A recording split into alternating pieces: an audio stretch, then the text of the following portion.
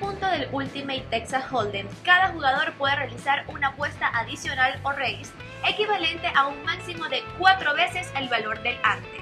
Si el jugador tiene un juego mayor que el croupier y este tiene al menos un par, el jugador gana su apuesta raise, ante y empata la ciega.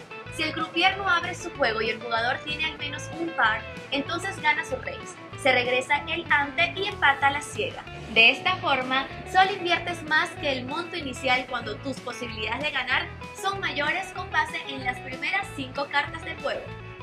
Antes de que se abran las primeras tres cartas comunitarias, existe la posibilidad de incrementar por 4 la apuesta inicial de cada jugador, pero esto se debe hacer con precaución, pues todo puede cambiar con las 5 cartas comunes que se abren al centro de la mesa.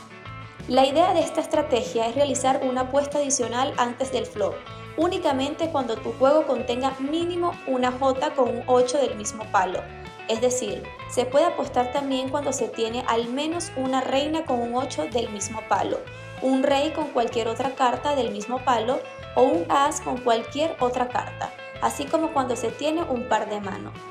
¿Qué opinas? Ahora estás listo para poner esta estrategia en práctica directamente en la mesa. Te esperamos donde siempre en Caliente Casino.